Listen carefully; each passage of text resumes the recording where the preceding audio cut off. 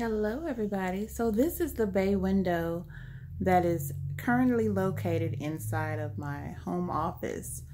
I would like to turn this into something nice, something relaxing, something comfortable.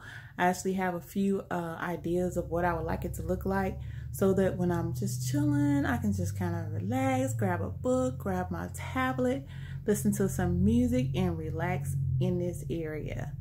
So I just wanted to show it to you all. So far, the only thing I have done was add some mini blinds, but I, I have high hopes for this space.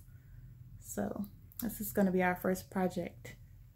Make this space awesome.